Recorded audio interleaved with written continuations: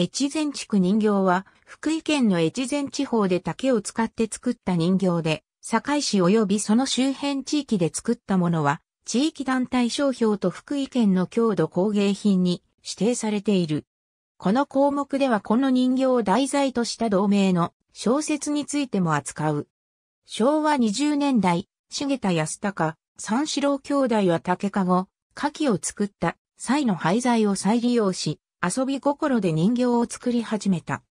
1955年の富山博覧会への出展をきっかけに、それまでの竹かご作りを止め、人形を中心に制作し、現在に至る。堺市丸岡町には、越前地区人形の里という施設がある。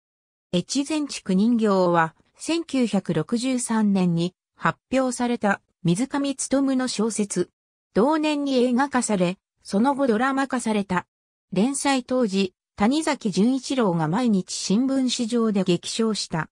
越前国竹押し竹上部落に副業として竹細工を広めた氏家喜左衛門が死んだ後、息子の木助のもとへ足原の玉江と名乗る人物が訪ねてきた。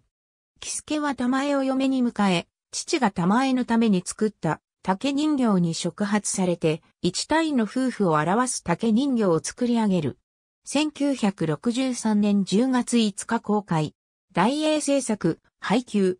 キャストスタッフ1964年版1964年に日本テレビで毎週月曜日、金曜日7時30分7時40分枠にて放送された。